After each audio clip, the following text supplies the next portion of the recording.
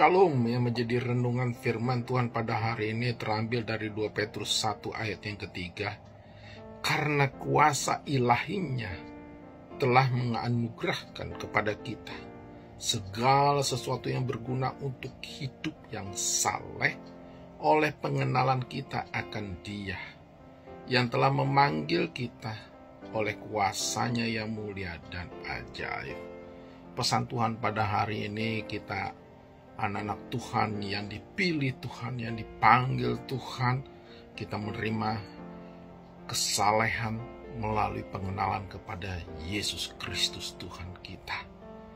Oleh karenanya kita tidak bisa hidup saleh tanpa mengenal Tuhan.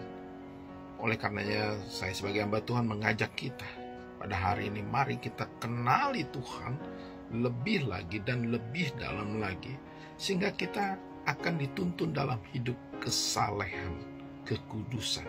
Karena itu yang dikendaki Tuhan. Jadilah anak-anak Tuhan yang mengenal Tuhan secara penuh sehingga kita berjalan dalam kekudusan bersama Tuhan Yesus. Tuhan Yesus memberkati kita. Haleluya. Amin.